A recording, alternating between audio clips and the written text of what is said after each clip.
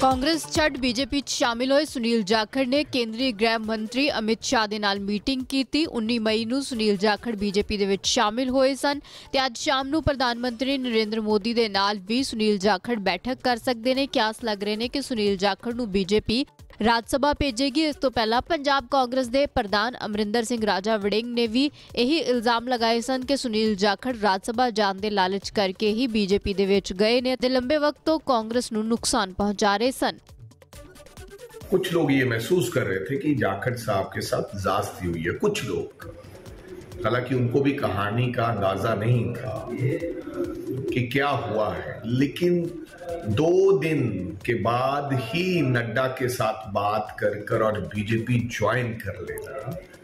हमें तो इस बात का पता था, लेकिन हम बोले नहीं कि बीजेपी से छह महीने से पहले ही बातचीत हो चुकी थी।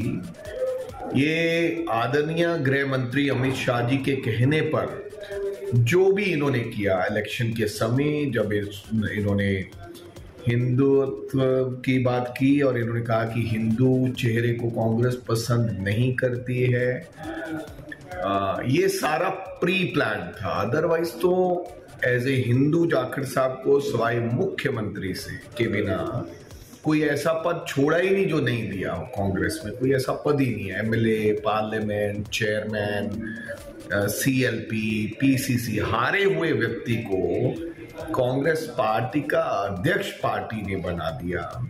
स्क्रीनिंग का chairman campaigning chairman screening member बना दिया। कोई ऐसा पद बचा ही नहीं है। पंजाब के लोग जाखड़ साहब को कभी माफ़ नहीं करेंगे।